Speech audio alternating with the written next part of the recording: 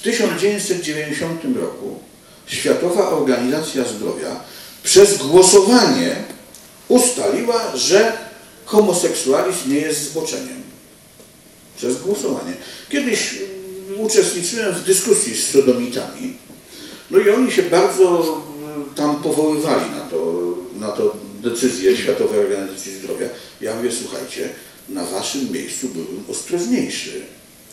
Bo jeżeli Światowa Organizacja Zdrowia w innym składzie personalnym przegłosuje co innego, to co wy wtedy zrobicie? No wtedy nie będziemy się powoływali, wtedy będziemy... No to ja mówię, nie dlatego wy się powołujecie, że jesteście przekonani o prawdziwości tej deklaracji, tylko że ona jest dla was wygodna. Ale czy wiemy na pewno, przez głosowanie nie możemy się dowiedzieć, jak jest naprawdę. Jak, żeby się dowiedzieć, jak jest naprawdę, to trzeba rzecz zbadać i się przekonać, jak jest naprawdę. Natomiast jak my zagłosujemy, to tylko wiemy, jak żeśmy głosowali, natomiast nie wiemy, jaka jest prawda.